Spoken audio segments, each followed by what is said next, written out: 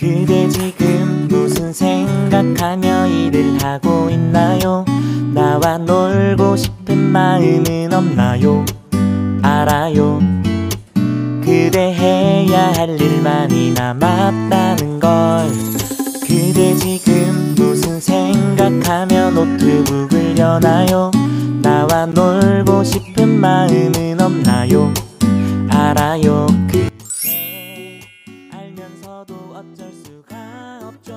Assalamualaikum, hai teman-teman semuanya, apa kabar? Mudah-mudahan teman-teman semuanya selalu sehat ya, selalu baik-baik aja di mana pun teman-teman semuanya berada, amin Nah teman-teman Alhamdulillah setelah lagi kegiatan aku di hari ini tuh sekitar jam 10 siang. Seperti biasa ya aku ambil video setelah pulang sekolah Setelah nganterin pulang sekolah Neng Keke. Ini tadi aku langsung jemurin baju Dan video ini tuh masih di hari yang sama dengan video sebelumnya ya. Uh, aku lagi ini aja lagi mood bikin video jadi ya udahlah ini sekalian juga. Emang hari ini tuh aku rencananya mau masak karena kerjaan rumah kan tadi pagi udah aku kerjain ya. Dan di sini tuh aku tadi di sekolahan beli cemilan gitu. Ini ada risol sama cirsi gitu ya teman-teman. Terus ini ada kue-kue aku simpan di sini aja biar nanti kalau mau makan tuh gampang gitu ya. Dan di sini uh, ada pas suami lewat. Oke okay, ini untuk meja makannya. Alhamdulillah ya karena udah dirap juga tadi pagi jadi nggak terlalu kotor. Terus ini aku mau masak. Tadi pagi pas anterin abang Pak sekolah tuh pulangnya aku beli dulu sayuran ya. Kebetulan teteh sayur yang biasa lewat uh, depan depan rumah aku tuh belum ngilang belum ngilang ya. Uh, kadang aku tuh pas kalau pas ngangkat nganterin abang Pak sekolah pas berangkatnya tuh ketemu pas pulangnya itu suka nggak ketemu. Jadi si tetehnya suka udah belok ke gang mana gitu. Dan kadang aku tuh cari-cari suka nggak ketemu ya teman-teman. Akhirnya aku tuh nggak beli sayur. Nah di sini ada pak suami yang lagi ngobrol ini ya ceritanya. Aku nih sambil beres-beres sambil beres-beres rumah sambil uh, nemenin Pak suami ngobrol juga. Dan di sini tuh ada air minum di wadah pink ini. Aku mau isi ulang aja isi ulang. Aku mau isi karena udah habis ya teman-teman. Terus ini ada sedikit cucian piring se apa namanya sisa tadi pagi aku bikin sarapan. Enggak aku cuci lagi ya karena tadi tuh udah mepet banget waktunya ya. Udah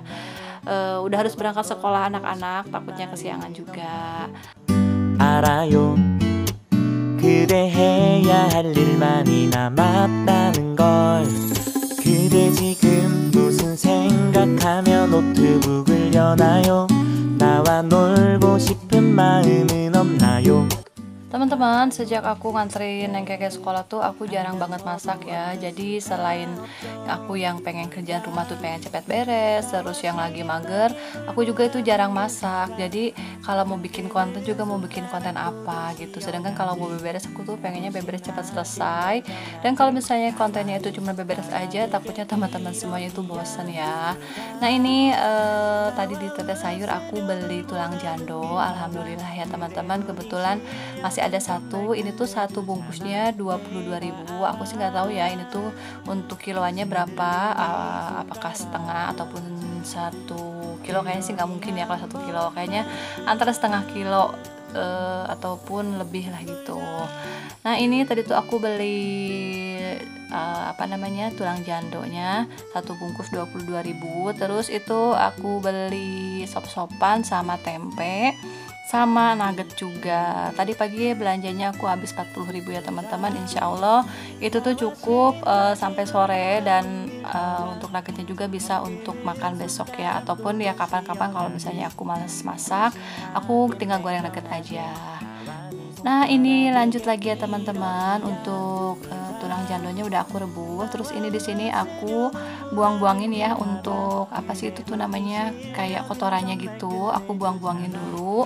Dan untuk uh, rebus tulang jandonya aku pakai metode uh, 5 3 eh 5 30 dan 7 menit ya teman-teman. Alhamdulillah ya. E, lumayan empuk untuk metode apa namanya untuk daging jandonya dengan memasaknya pakai metode 5 37 itu. Nah ini untuk metode eh kok untuk metode ya? Untuk tulang jandonya itu aku tutup dulu ya Aku diamkan selama 30 menit menit sambil nunggu tulang jandonya didiamin 30 menit aku ini mau potong-potong dulu sayuran sop-sopannya ya. Ini satu bungkusnya tuh 3000 rupiah ya teman-teman. Udah dapet wortel eh, daun kol terus ada apa sih? Ada brokoli eh brokoli. Ada yang hijau itu masya allah. Pokoknya yang panjang-panjang hijau itu apa sih? Aku lupa banget. Uh, terus ada bawang daun sama seledri sama tomatnya juga Nah untuk daun kolnya ini aku nggak pakai semuanya ya teman-teman karena pak suami itu kurang suka dan e, terlihat lebih ini aja ya apa ya pokoknya kalau terlalu banyak daun kol itu nggak enak aja. Jadi ini untuk daun kolnya aku mau simpan aja. Nanti kalau misalnya mau bikin bakwan tuh lumayan lah ya ini nanti bisa ditambahin buat e, bikin bakwan gitu. 縄にそからげげ色冷やすじゃ縄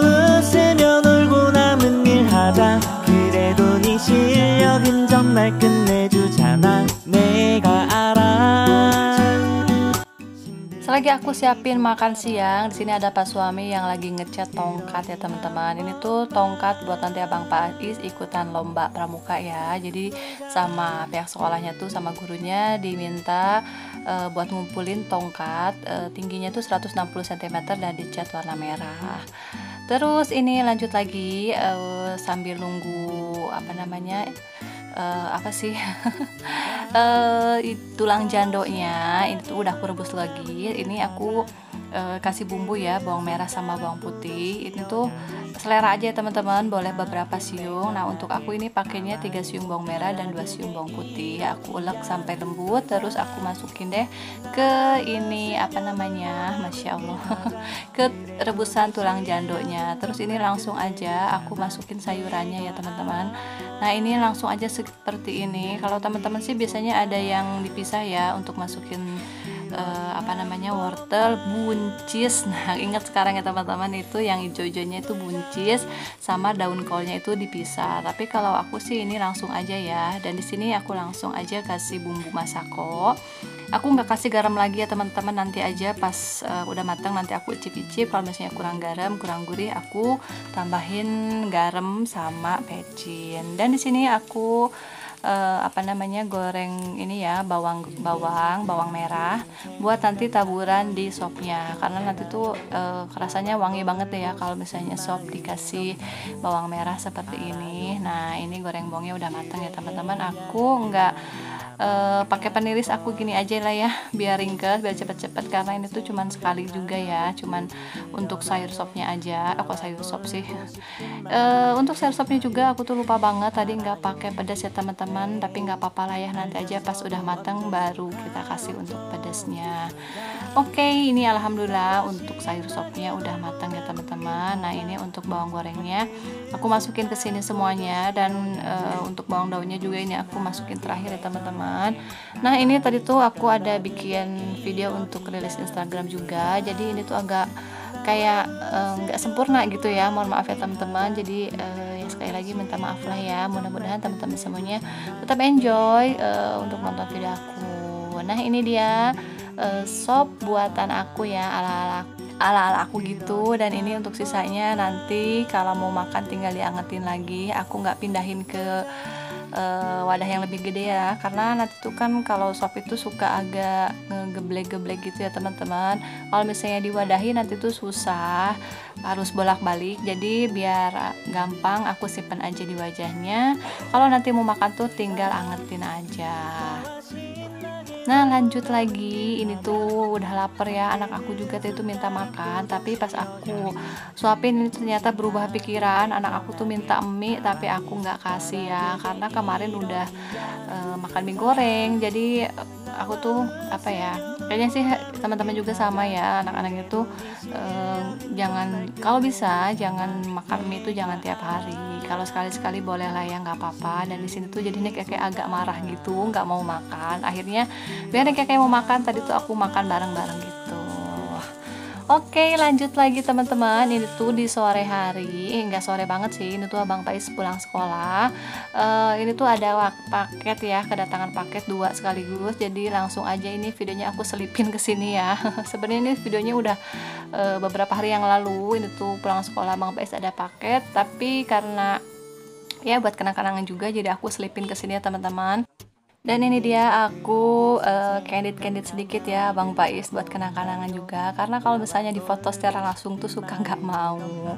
Sama juga nggak sih teman-teman semuanya punya anak cowok tuh yang udah mulai beranjak remaja tuh mulai susah ya Diajak pergi bareng, diajak foto-foto. Pokoknya yang seperti uh, eh, perempuan-perempuanan itu katanya disebutnya lebay ya Allah jadi ya akhirnya aku daripada nggak dapat eh, nggak uh, ada foto nggak ada kenang-kenangan aku candid candid aja ya buat foto-fotonya. Nah lanjut lagi. Alhamdulillah teman-teman udah selesai e, makan siangnya tadi. Ini lanjut aku mau beresin e, kompornya mau lap-lap. Tadi tuh aku ada goreng tempe Tapi aku nggak record ya teman-teman Karena tadi tuh udah akunya udah gerah banget dan pas goreng tempe itu minyak tuh nyiprat nyiprat ke mana-mana. Jadi ya udahlah ini uh, udah istirahat juga udah makan aku mau lap-lap karena udah udah capek. Udah capek aja ya teman-teman udah pengen istirahat. Di sini aku lap-lap biar nggak ke mana-mana gitu lengketnya. Dan nanti tuh uh, aku juga mau pel lantainya karena ya seperti tadi aku bilang ya ini tuh kan nyiprat ke mana-mana minyaknya dan nyiprat juga ke lantai jadi mau nggak mau harus dipel ya teman-teman. Tapi sebelumnya ini aku mau pindahin dulu untuk kesetnya. Aku ini mau sapu-sapu tapi nanti aku sapu-sapunya nggak record ya. Langsung aja ini tuh aku record pas aku pel-pelnya. Dan seperti biasa untuk pel lantai di dapur ini aku pakai kanebo ya teman-teman.